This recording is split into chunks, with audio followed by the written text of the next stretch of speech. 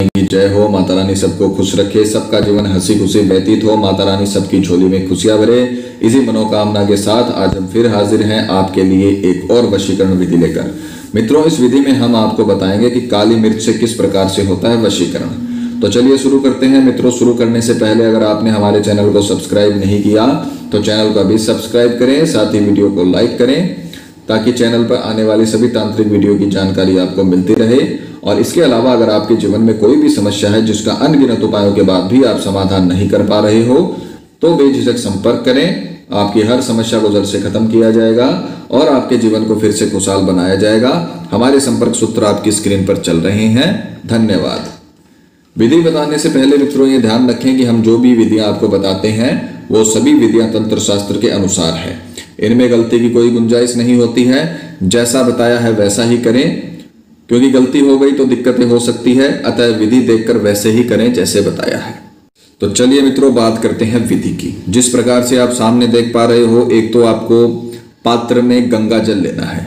ये जो जल है ये सा, साधारण जल नहीं है ये है गंगा जल।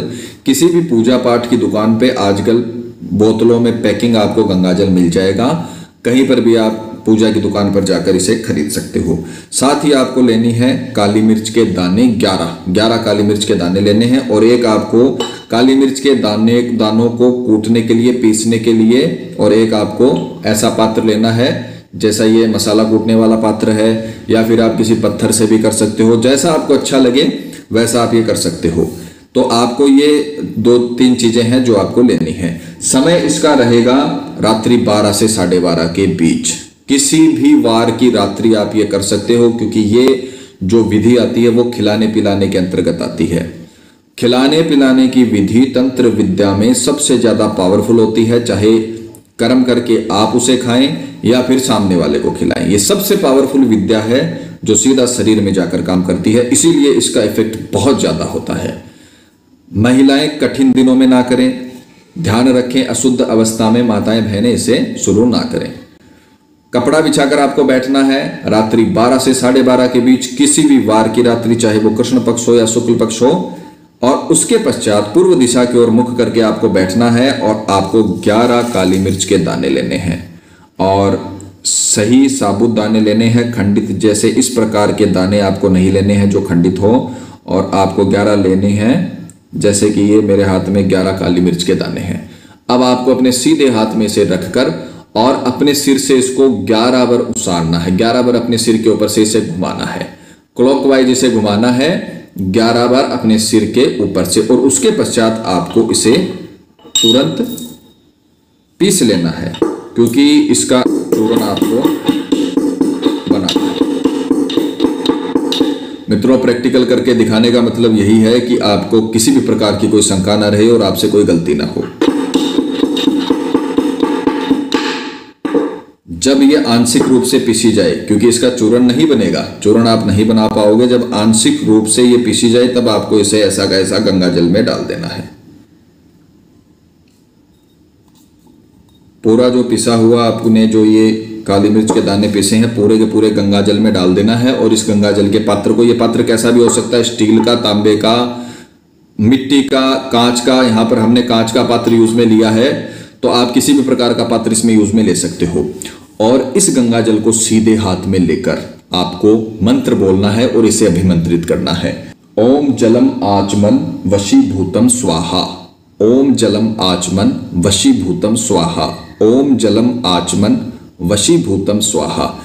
इस मंत्र में किसी का नाम नहीं लेना है। क्यों नहीं लेना है? क्योंकि ये अपन खिलाए पिलाए के अंतर्गत विधि कर रहे हैं। इसमें आपको किसी का भी नाम नहीं लेना है। उसके पश्चात जब आपने ये मंत्र आपको 108 बार बोलना है, इसकी काउंटिंग मैंने आपको बता रहा हूँ कि 108 बार आपको ये मंत्र बोलना है। मंत्र है, ओम जलम आचमन वशीभूतम स्वाहा। ये मंत्र 108 बार बोलने के पश्चात आपको इसे अपने सिरहाने रखकर सोना है, किसी भी पात्र से ढककर। इसको अच्छे से ढक देना और ढकने के पश्चात आप इसे अपने सिरहाने रखकर सो जाइए। और सुबह जब आप उठो, उठने के पश्चात इसे आपको कहीं ऊँचे स्थान पर छुपा कर रख देना है। जहाँ पर इसको कोई देख ना पाए और जैसे ही मौका मिले, आपको इसे छान कर, इसे छान लेना है इस गंगा जल को। छानने के पश्चात सामने वाले को पिला देना है। जिसके ऊपर आप वशीकरण करना चाहते हो, उसको आप ये जल पिला दीजिए। और छानने के बाद जब ये जो आपका अवशेष बच जाए काली मिर्च का, इसे ऐसे ही नहीं फेंकना, इसे पीपल के पेड़ में डाल के आना या किसी मंदिर में डाल के आना, क्योंकि अभिमंत्रित है। छालनी जो आपकी जो छानने वाली होती है, उसमें जो ये अवशेष बच जाए, उसको अलग रख लेना, किसी भी कागज़ में रख लेना या पॉलिथीन में रख लेना और उसे मंदिर में चढ़ा के आना जब भी टाइम मिले। और छानने के बाद जो जल बच जाए, उसको सामने वाले को पिला देना दूसरे दिन। यह ध्यान रखना, अपनी सुविधा अनुसार उसी रात्रि को काम करना, जिसके दूसरे दिन आप ये जल उसको पिला सको। क्योंकि ये दूसरे दिन ही होगा। ऐसा नहीं है कि आपने चार पाँच दिन रखा और बाद में पिलाया नहीं। जिस, पहले दिन की रात्रि को आपको करना है और दूसरे दिन आपको इसे सामने वाले को पिलाना पड़ेगा। जैसे ही आप उसे पिलाओगे, आप उसके घंटे या डेढ़ घंटे बाद देखोगे कि जिस व्यक्ति के लिए आपने ये किया है, जिसको आपने ये पिलाया है, वो आपकी तरफ़ आकर्षित होने लगा है, आपके पक्ष में होने लगा है। जो आपका दुश्मन था, दुश्मन की तरह व्यवहार कर रहा था, आपसे लड़ाई झगड़ा कर रहा था, वो बहुत ही ताकतवर वशीकरण के शिकंजे में आ चुका है। जो घरेलू महिलाएँ हैं, गृहस्थ महिलाएँ हैं जो अपने पति के प्रकोप से पीड़ित हैं, जिनका पति उनके साथ मारपीट करता है और गलत तरीके से उनके साथ बर्ताव करता है तो उनके लिए यह रामबाण उपाय है। महिलाएँ अपने पति के ऊपर कर सकती हैं, प्रेमी अपनी प्रेमिका के ऊपर कर सकते हैं और शादीशुदा जोड़े अपने साथियों के ऊपर कर सकते हैं, जिससे उनका और जीवन चक्र है वो अच्छे से चले, उनका दाम्पत्य जीवन अच्छे से, सुखी से व्यतीत हो। किसी भी गलत काम के लिए ये उपाय ना करें। और बहुत ही पावरफुल उपाय आपको करना पड़ेगा, जब तक आप खुद नहीं करोगे, तब तक कुछ नहीं होगा। अगर आपको अपना जीवन बदलना है तो इस प्रकार की सच्ची विधियाँ आपको करनी ही पड़ेंगी।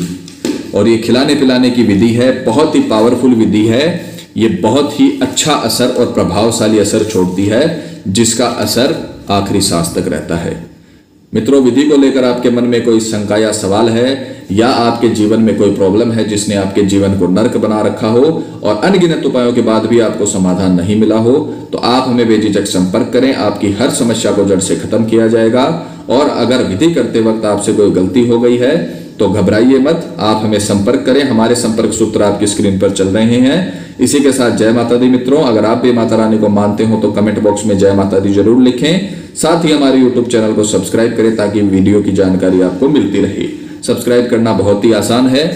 स्क्रीन पर चल रही चौतीस से बदले जीवन की पिक्चर को प्रेस करें। आप हमेशा के लिए हमारे साथ जुड़ जाएँगे। जय माता दी।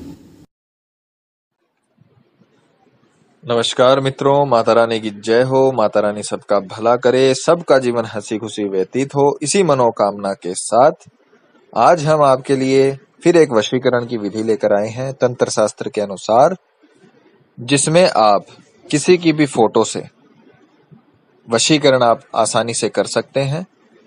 अगर आपके पास उसका प्रतिबिंब यानी फ़ोटो मौजूद है तो आप इस विधि को करके उसे बहुत ही आसान तरीके से, बहुत ही पावरफुल तरीके से अपने वश में उसको कर पाएँगे।